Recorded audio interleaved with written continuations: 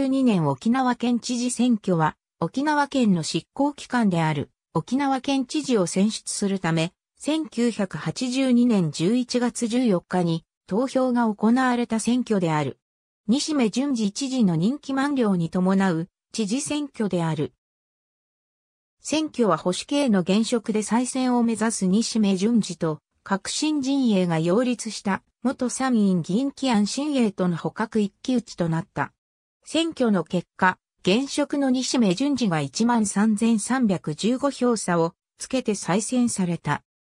また、キアンの参院議員辞職に伴い参議院、沖縄県選挙区の補欠選挙も同時に行われ、自民党公認で元衆院議員の大城誠淳が革新統一候補で沖縄社会大衆党副委員長の中本康一と前、沖縄県副知事で弁護士の宮里松生を破り、当選を果たした。立候補者は以下の2名である。保守系の現職西目が革新共闘会議の議案を接戦の末に下し、再選を果たした。議案は西目に13,315票差まで迫ったが及ばなかった。投票率は前回選挙時をわずかに上回った。